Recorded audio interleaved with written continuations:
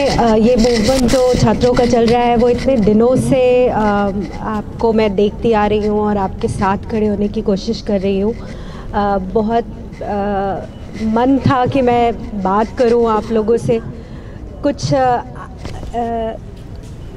Psychologically I think हम सभी लोग जानते हैं कि हम किस दौर से गुज़र रहे हैं। जो रोज़ाना हिंसा सहते हैं और हिंसा के डर में रहते हैं उनके साथ शायद जे कैंपस में जो लोग हैं वो उनके साथ बहुत अच्छी तरह एम्पथाइज़ कर सकते हैं।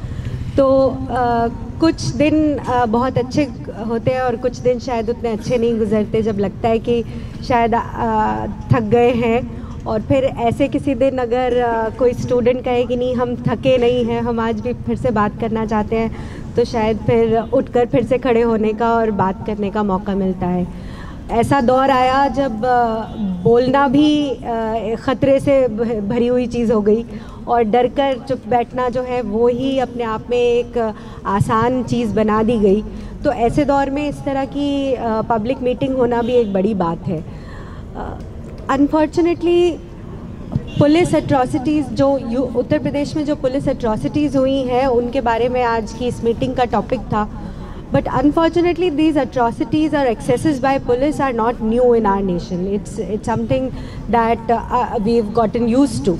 What is new about this moment is the fact that this is not happening as a routine that we are in middle of a big movement against a completely you know discriminatory law और हम लोगों से ये बार बार बत, जो हमारे गृह मंत्री हैं वो ये बार बार कहते हैं कि जो ज़ाहिर सी बात है हम सभी जानते हैं कि कितना बड़ा झूठ है वो कि इससे जो यहाँ के ऑलरेडी जो नागरिक हैं उनको डरने की ज़रूरत नहीं है।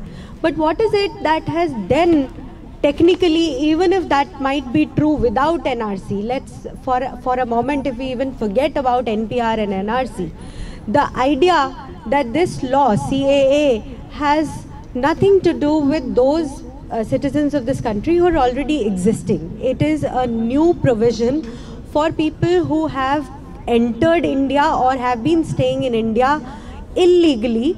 And there's a category three countries have been named, several religions except uh, Islam have been named. Uh, it is uh, pertaining to only those countries. Now, what is new?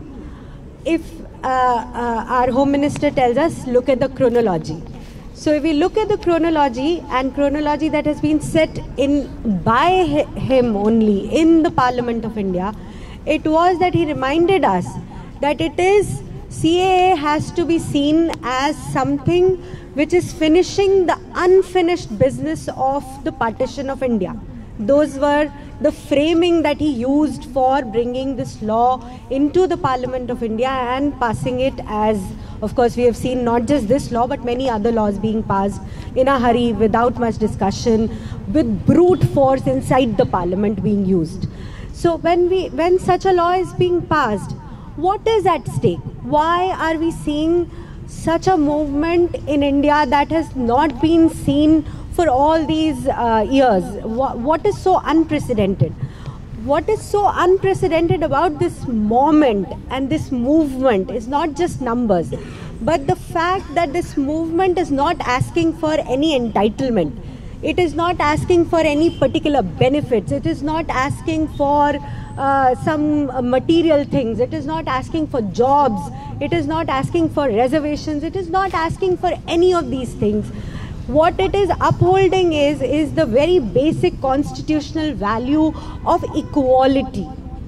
It is that which is unprecedented that for people of india to feel so strongly about it and to come out of their homes in face of such brute uh, regime uh, taking the risk that each one of you have been taking and uh, standing up for this right.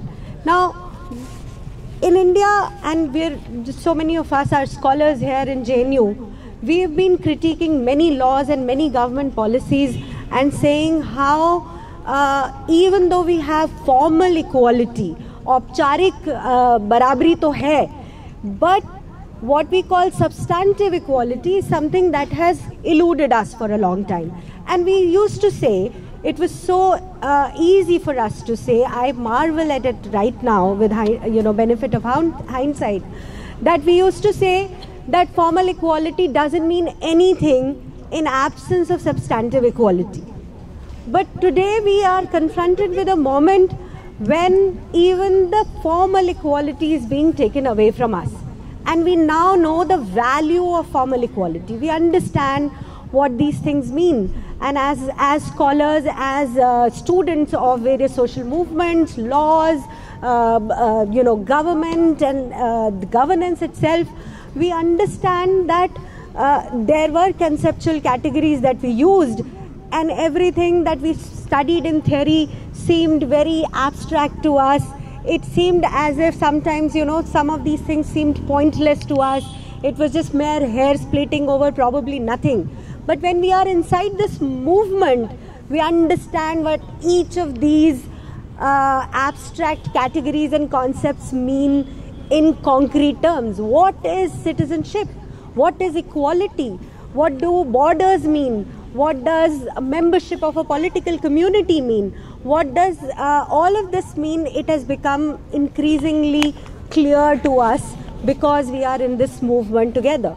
Now, if we look at specifically uh, what we have gathered here to talk, which is uh, atroc- police excesses and police atrocities in Uttar Pradesh in wake of uh, the, this movement and protest by uh, citizens of India, what we are seeing is that the hollowing of the constitutional value of equality, the uh, weakening of uh, Article 14, which promises us, all the people, not just citizens, but all persons of equality before law, when that has been not only been uh, taken away, we have also been threatened and brutalized by the brute force of police which is no longer just a, a, a you know an institution or a force which uh, uh, looks after law enforcement or investigation and so on.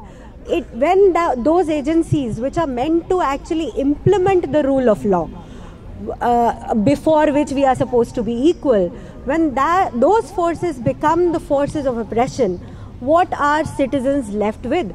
And it is this uh, reduction of a citizen to a subject which is uh, you know open to such brutalization.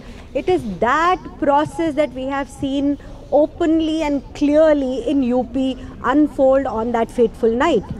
And it was not only that these were protests which were peaceful and protesters which were brutalized but those of you who have been interested and have kept tab over the events of that night we know that UP police went into residential areas, burst into people's houses, as doing illegal, uh, in quotes, searches, uh, uh, looting people's houses, and of course, uh, uh, uh, Muslim households were Muslim houses and Muslim businesses were particularly targeted for such a thing.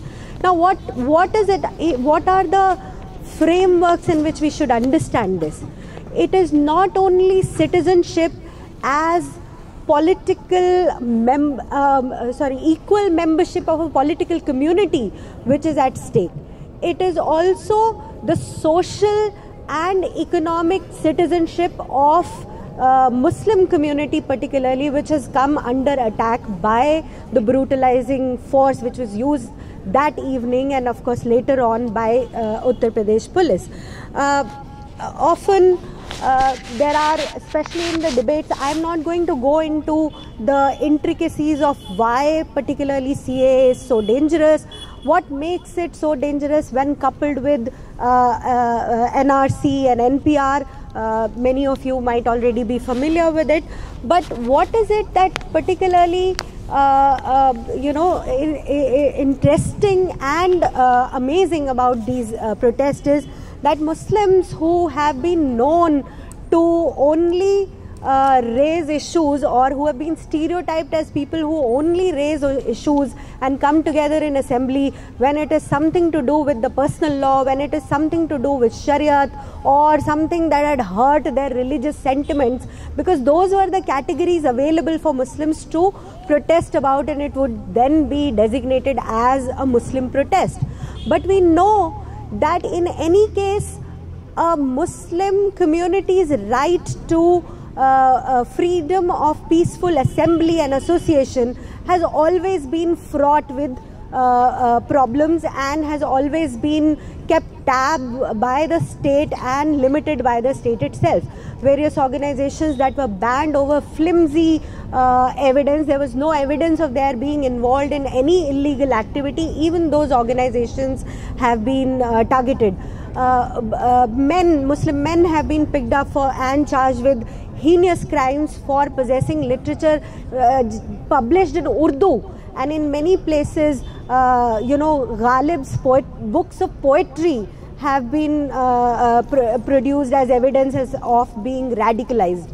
So, Urdu itself or anything that uh, flagged the Muslim identity itself was a sign of radicalization, and a Muslim assembly was always seen with a certain kind of nervousness about it turning uh, violent or by well-meaning people about a Muslim assembly actually becoming target of uh, uh, uh, violence. So either the idea was that if they came together, they would probably be not uh, as invested in peaceful protest as other citizens of the country, or by well-meaning people who actually were concerned about them, they thought well, uh, you know, if they came together wearing burqas or if they came together wearing the skull caps, etc., it was a visibly Muslim crowd, then maybe it would invite violence uh, upon itself and state violence. So it is that kind of nervousness and that kind of framing of Muslim assembly that this protest, especially uh, or these uh, this movement, has actually overcome and I would say to students who are, uh, uh, you know, uh, here and those of us who are part of this movement that if the core demands of this movement, which is the repeal of the law uh, as it stands, uh, uh, divisive and discriminatory on the basis of religion, but also, you know, stopping NPR and NRC, even if those demands are not met completely, the movement is already successful. In my assessment, the movement is already successful because it has been able to uh, create the space. Uh, the students have done that amazing feat of creating space for the Muslim citizens to come out and to assert their citizenship without recourse to uh, uh, uh, talking about only their religious sentiments or Shariat or personal law, etc. And that this is a movement for equality for all citizens of India. Now, uh, coming back to uh, uh, the issue of police violence, if you see what happened in Jamia Millia Islamia campus, and AMU the night that JNU Students Union gave a call for students to and all citizens to uh, uh, come together in front of Delhi Police uh, headquarters that evening and demand for students uh, who were detained their release. We know that there is a heightened awareness and empathy for custodial violence. Every student of this country or every citizen of this country who has participated in any of these protests that have been going on, we know what it means to risk custodial violence. We know what it is to be picked up and put into Delhi police or UP police buses and detained. We know what it is to be hit by policemen. We know what excessive force looks like, what disproportionate force looks like. And we can empathize the issues of this moment, eh, one more important thing is that if you've seen this movement, we have not seen complaints of uh, uh, you know, uh, women feeling insecure about participating in this movement or being sexually harassed when they are together in the movement, precisely because this is a movement for constitutional values. The a movement which is for constitutional values which is going on peacefully in face of such brutalization as has happened in UP, but definitely also in Delhi. Uh, of all the deaths, I think uh, 26 deaths that have taken place as part of this movement, uh, all have happened in those states which are ruled by Bharatiya Janata Party. And uh, movements have been completely peaceful and this is the excessive force that UP police has used on peaceful protesters. Not only that, there have been FIRs which just do not name anybody, and randomly people are being picked up for uh, for uh, committing uh, for the uh, you know uh, they've been named as people who've committed these crimes, and randomly they are being picked up. Such heinous crimes have been uh, sections have been applied in these FIRs and uh, uh, more, more importantly what has also happened is that proper the uh, UP uh, government had uh, we've heard the friends from uh, Rihai Manch actually talk about it earlier in a better way and more stronger way. The experience of being governed by such a criminal as UP is being governed by. And uh, Yogi Adityanath had actually said that very day before the protest actually started happening कि वो बदला लेंगे। तो ये ये बदले की जो लैंग्वेज है, वो समझ में भी नहीं आया कि बदला किस चीज़ का लेंगे। सिर्फ़ किसी के होने का या अपने होने के प्रूव करने का कि मैं हूँ और मैं आवाज़ उठाता हूँ।